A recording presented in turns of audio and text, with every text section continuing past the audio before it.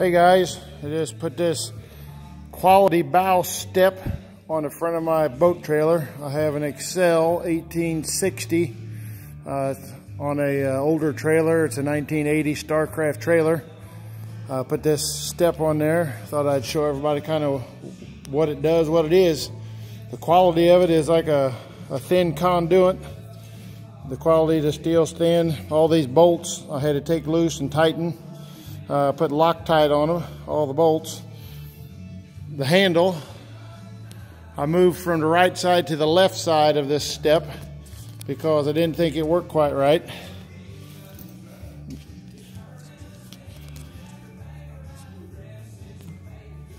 Step is designed, if I can show you here, to fold up like that.